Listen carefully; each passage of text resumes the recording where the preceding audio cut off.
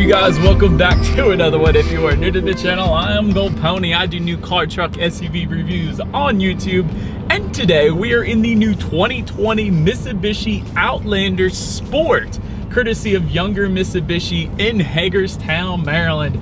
I am quite excited to be in this one as always. The Outlander Sport has been completely redesigned for 2020 for the better without a doubt. Also relatively low starting price point in this one. Above average reliability according to Consumer Reports. That's definitely a huge plus as well. And of course you get Mitsubishi's seven year, 100,000 mile powertrain warranty as well. So a ton of peace of mind there, not only with reliability, but the warranty as well. So having said all of that, what do you guys say? Let's just go ahead and jump right into it. And as always, let's start with pricing. And so there will be several different trim levels for the 2020 Outlander Sport. First one being the ES starting at 22,595 SE starting at $24,295, SP starting at $24,645, BE or Black Edition starting at $25,395, and lastly the GT starting at $25,495. And so that was all pricing for the front wheel drive configuration. I did want to say that. If you wanted to add all-wheel control, which is what Mitsubishi calls their four-wheel drive system,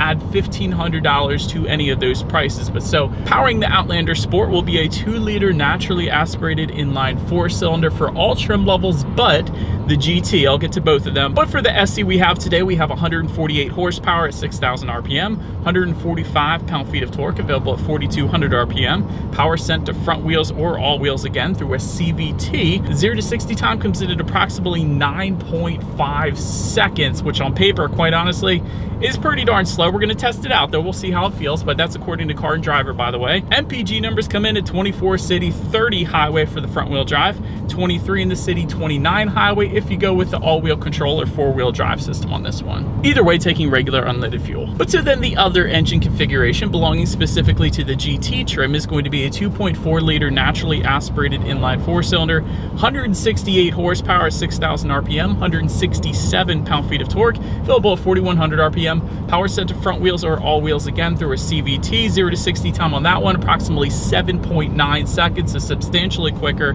MPG numbers come in at 23 city, 29 highway for the front wheel drive, 23 city, 28 highway for the all-wheel control system. But so now having touched on all the engine specs, like I mentioned to you guys, I do have the SE trim level today, so we do not have that more powerful engine set up. But let's go ahead and actually see what the acceleration feels like here in the Outlander Sport. I'm gonna get set up, find a straightaway here, and let's give this a shot. All right, in three, two, one, go.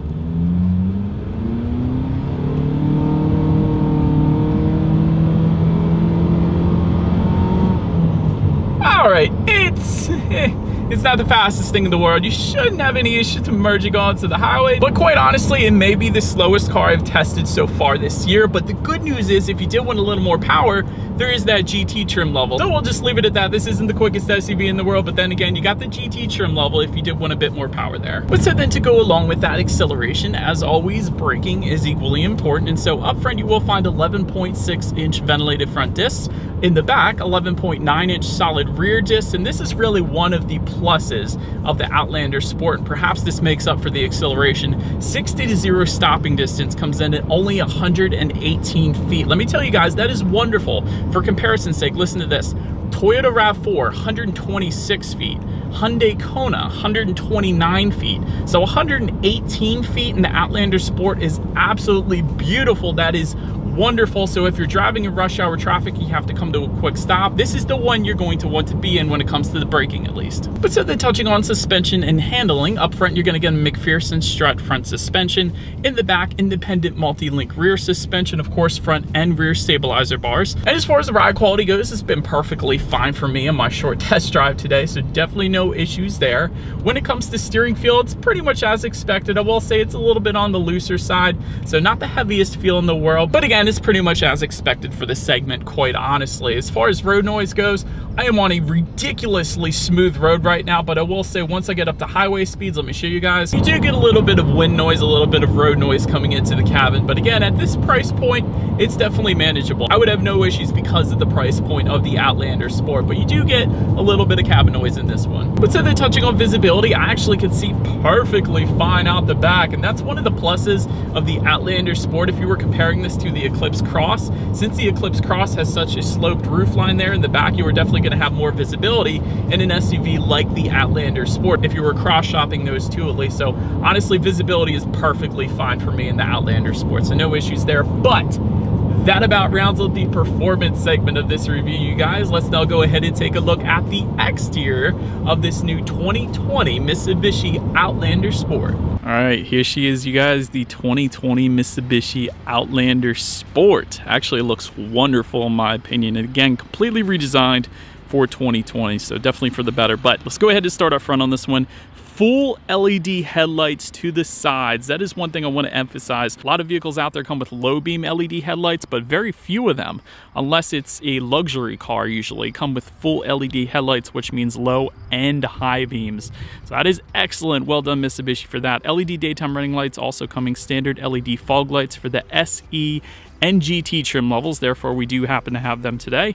And of course you do get automatic headlights with the SE and GT trim levels as well, along with satin silver grille accents, again, just for those two trim levels there. And again, this new look is absolutely doing it for me. It looks a lot like the Eclipse Cross, which is definitely a good thing, but Having said that, let's go ahead and make our way to the side on this one. Black roof rails are going to come with the GT trim level only. It's the only way you're going to be able to get roof rails on the Outlander Sport. However, rear privacy glass coming standard across the board.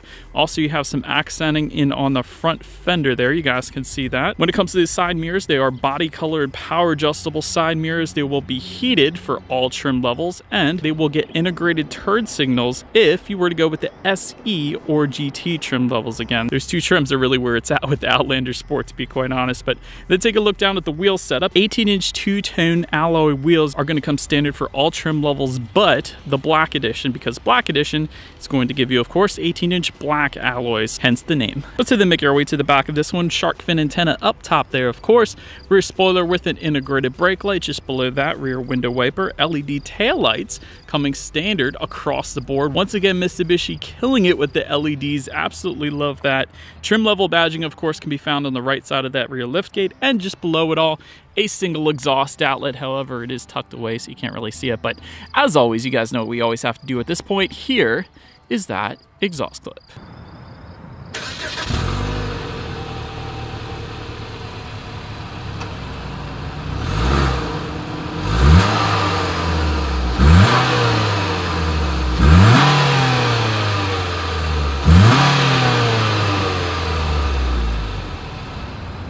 And so, but now since we are around back of the Outlander Sport, when it comes to opening that rear liftgate, it's pretty simple. There's a button on the liftgate itself. That is the uh, that is the one and only way to go ahead and open that one up. But once opened up, cargo capacity is going to come in at 21.7 cubic feet.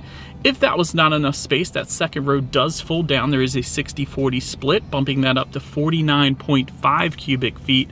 Also to go along with that in that cargo area, there is cargo lighting, there's cargo tie-down hooks, and there also is a spare tire underneath of that cargo floor. That's where you're gonna go ahead and find that. But make our way to the rear legroom. That comes in at 36.3 inches. So for reference, I'm an even six feet tall. This is how much space I had in the back there.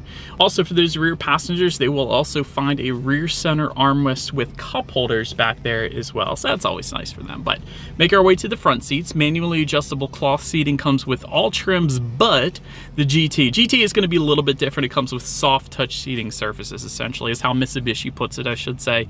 Heated front seats come standard for all trim levels. It's definitely something you don't see that comes standard even on a base trim level with other manufacturers out there. So love that Mitsubishi did that. And as far as the seating goes, although it is manually adjustable cloth seats, these seats are plenty comfortable so absolutely no issues for me, at least in my short test drive that I've had here today. So Then go ahead and make our way to the steering wheel. It is tilt and telescoping. It is actually leather wrapped for the SE trim level and up. And you will get some red stitching if you were to go with the black edition trim level, little accent stitching. So that's always good. Then take a look at the startup. Let me first start by showing you guys the key here. It is a pretty basic key. You got your Mitsubishi logo on the one side and of course lock and unlock on the other side. It is a push button start if you were to go with the SE that we have today or the GT trim level. So that's how you're gonna go ahead and get that. And there is actually a remote start available as an option for $545 if you wanted that as well. But so all I'm going to do here is simply put my foot on the brake and there is a push button start located just kind of to the right of the gauges there.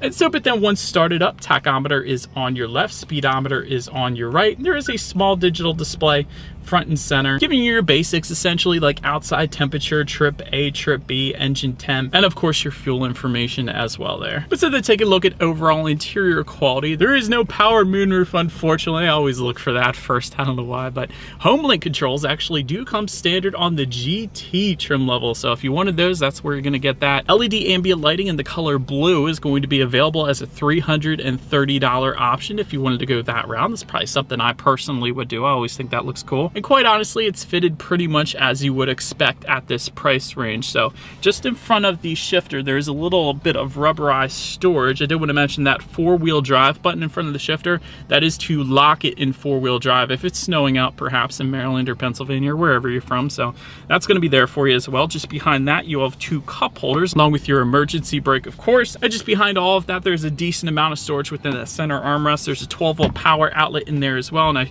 almost forgot to mention in front of the shifter, you also have two USB charging ports and another 12 volt power outlet up there too. And that's also where you're gonna be able to find your heated seat buttons up there too. So overall, again, it's pretty much as expected. So no issues for me. But now let's take a look at the tech display. Seven inch color touchscreen display comes with the ES. However, all other trim levels actually get an eight inch color touchscreen display.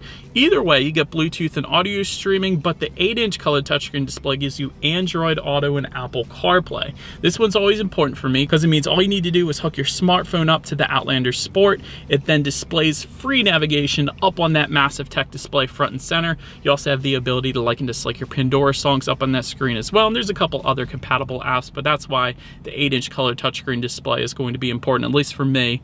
You can also check out your radio settings up there though. When it comes to the sound systems, you will get four speakers with the ES and SP, six speakers with the SE and GT, and with that black edition, you actually get a Rockford Fosgate sound system, which is going to be the best, of course. But nonetheless, we do have the six speaker sound system with us here today. So what do you say? Let's go ahead and turn on the radio, see what we got playing today, and let's test out the clarity of this one.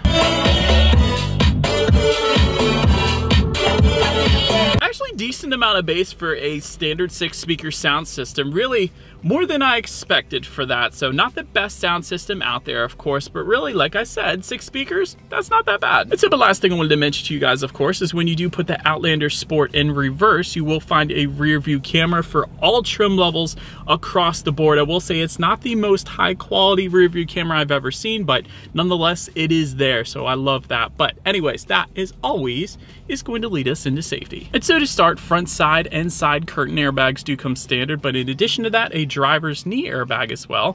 In the back, you're going to have latch, aka lower anchors and tethers for children for the rear car seats. Rear child door locks also come standard, tire pressure monitoring system, and they did want to also add the SE and GT trim levels are going to add in addition to that a forward collision mitigation system with pedestrian detection, lane departure warning, automatic high beams, and a blind spot monitor with rear cross traffic alert. And so in the end, when it comes to my final thoughts here of the 2020 Mitsubishi Outlander Sport, good reliability rating by Consumer Reports. That's always one of the most important important things to start with.